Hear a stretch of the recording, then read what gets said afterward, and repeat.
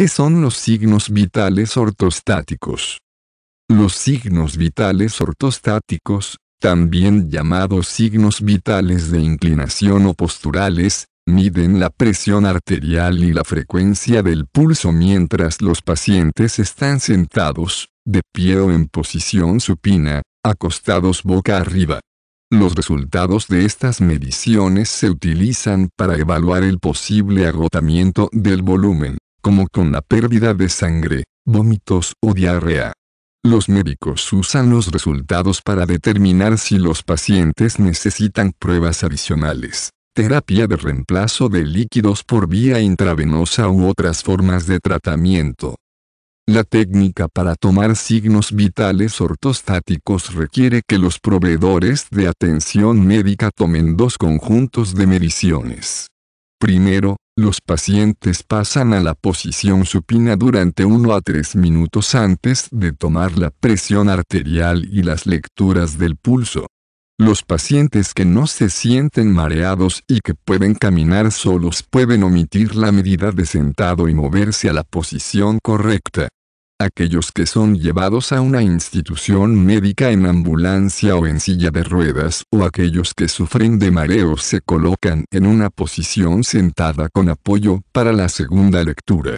Para garantizar una comparación precisa, los signos vitales ortostáticos deben tomarse en el mismo brazo durante ambas mediciones.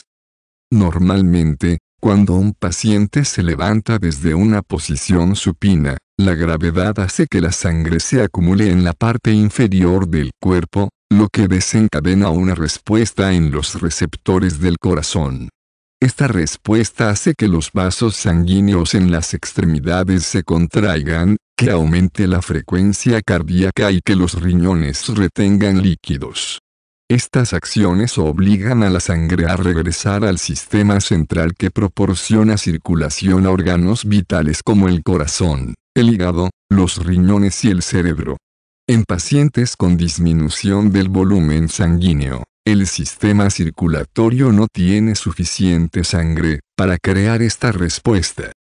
Los expertos están en desacuerdo sobre qué constituye exactamente un cambio significativo en los signos vitales ortostáticos desde una posición supina a una posición sentada o de pie. El consenso general indica que un aumento de pulso superior a 20 latidos por minuto o una caída de presión arterial mayor de 20 milímetros de mercurio, mmHg, puede indicar un volumen de líquido agotado. En general, los médicos están más preocupados por la presión arterial diastólica, representada por el número inferior en una lectura de presión arterial, que mide la presión cuando el corazón está en reposo. Las afecciones que pueden causar una pérdida de volumen de líquido incluyen un ataque cerebral reciente, como un derrame cerebral o un aneurisma, un síndrome de shock tóxico, un consumo excesivo de alcohol, trastornos autonómicos y un síndrome de fatiga crónica.